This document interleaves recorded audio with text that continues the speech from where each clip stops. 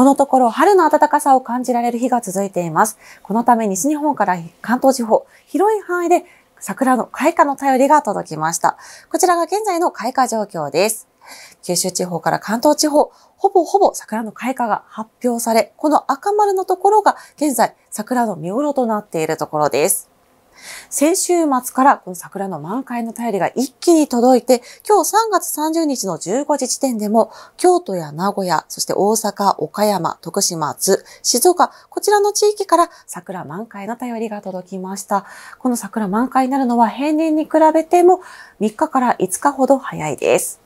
さて、残るは北陸地方から北日本の桜ですが、この先、北陸地方から北日本の桜ですが、平年よりやや早い、または平年並みで桜の開花が発表されそうです。今日一足早く、金沢で桜の開花が発表されました。えー、来週にかけて北陸地方では、どんどんと桜の開花の便りが届きそうで、4月上旬から下旬にかけて、この桜前線が東北地方を北上する見込みです。その後、4月末には札幌でも桜の開花が予想されています。